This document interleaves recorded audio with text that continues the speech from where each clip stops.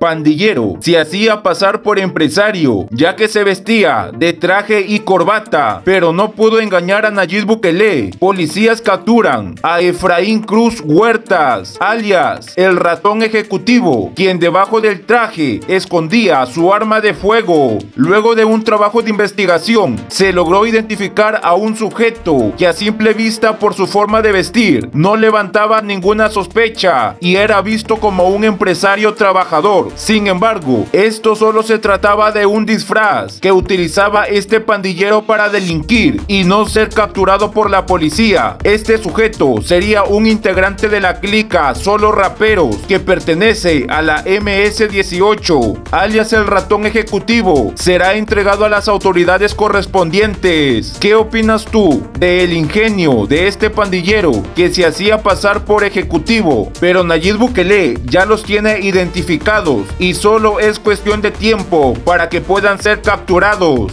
Si quieres seguir recibiendo más noticias como esta, solamente dale click al botón que dice suscribirse